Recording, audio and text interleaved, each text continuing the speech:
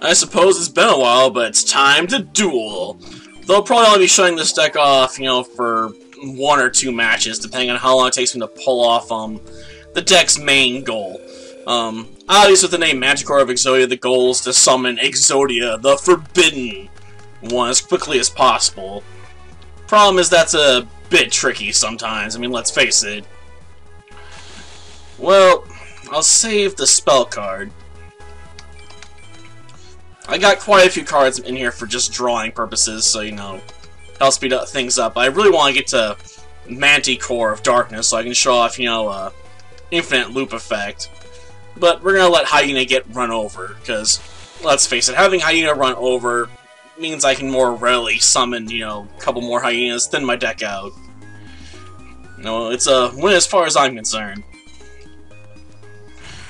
Because the less cards we have in our deck, the better.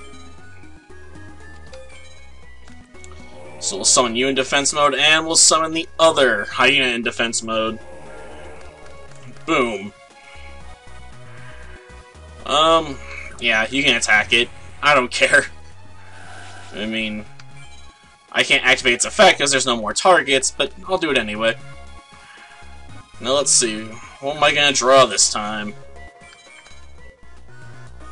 Well, that's one of my Manticores. I need the other one, though along with a copy of Card of Safe Return. Darn, that's not what I wanted. Well, I'll go with Gravity Bind first. That way I don't have to pay any life points, you know? If, if worst comes to worst, you know, I'll activate Wall of Revealing Light in order to prevent myself from taking life point damage, you know? That's just what I'll do. Okay, we'll set that bad boy and call the turn. After all, I can flip it, draw a card, then put it back face down, you know, just gotta keep moving. I honestly don't know why you'd summon Dark Magician right now. Ooh, Toon Table of Contents, this is a great card. Because it means I can grab another Toon Book, throw that card, you know, in the graveyard, summon another Toon Book, then grab a Toon Monster, so I can effectively grab, you know, multiple cards, I only have to use, you know, one to start off with. So, that's what we're gonna do, you know, just burn as many cards as possible. Oh, I don't, I don't want to chain any other cards onto this. I'll just grab, you know, Toon Gemini Elf here. And I guess we can activate this bad boy. Ooh, I can I can set you and get some more draws. I like it. I mean, really like it. We'll set you and then activate its effect, put it back face down, and just annoy the opponent with it. There, well, um, force his Dark Magician into defense mode. So even if he grabs Remove Trap, he can only attack with, like, his Giant Soldier of Stone. So you know.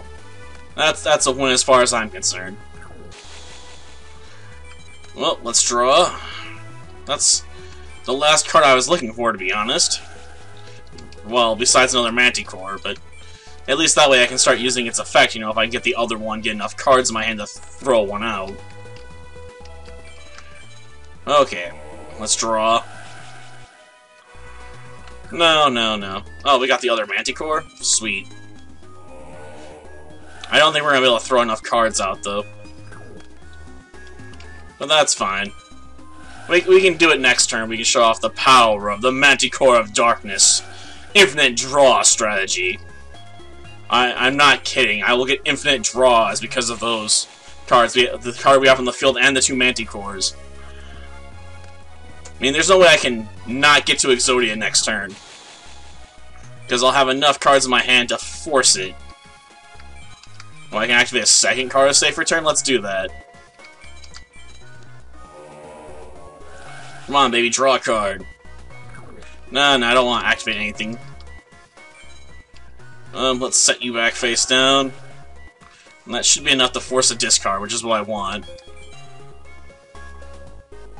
Yep, discard from my hand. Which allows me to trigger the effect of Manticore of Darkness, because if it's in the graveyard in the end phase, I can special summon it to the field. And I can then sacrifice a Manticore of Darkness to do this. The problem is, you know, this activates a chain where I can keep doing it over and over and over again because Manticore counts as a type of card I can sacrifice for its effect. So yes, activate the power of card safe return. Let me draw two cards every time I do this right now. No, I don't want to chain that last card. Honestly, it's gonna probably just annoy me right now, but you know, that's just how it goes. Um, I'm almost tempted to activate that just to get out of the way. Okay, let's set you in defense mode. Then, you know, just keep activating these cards over and over and over again. Eventually we'll get to Exodia. No, nothing else. I might have to draw, like, every card in my deck. I had to do that one time while I was testing this deck. I had to draw out every last card. It sucked. I mean, it's not like it's hard, it's just time-consuming. So you gotta be like, yes, activate the effect. Yes, activate the effect again. Like, no, I don't want to chain a card. So just, you know, let me draw some. Okay, we got another Exodia piece. One step closer. No, just, um, set in defense mode. And then activate these, which is probably why I'm not going to show off another match with this, because we, we achieved my main goal. I want to show off the infinite draw potential of Manticore. I mean, this is probably not the best Exodia deck around, but this is a method for, you know, for drawing all the pieces. Yes, we'll activate Manticore and toss Manticore back in the graveyard. Why wouldn't we do that? I have to admit, this is not one of my favorite decks, though. I mean, it just feels really cheap to run infinite loop like this. Though it is, you know, nice to be able to act like you're Yugi every now and again and be like, I summon Exodia, the Forbidden One. Exodia, obliterate! Yes, yes, activate its effect. And toss Manticore back in the graveyard. Yeah, I know, we could summon an attack position, but that'd be forced in defense mode anyway. Yes, activate the other one. You gotta be somewhat careful with that if you have multiple copies in the field, because you could potentially kill yourself if you were careless by trying to draw more cards than you could from your deck, so be be wary. No, I ain't got anything else I want chain. Yep, set Manticore, and let's draw some cards. What chain?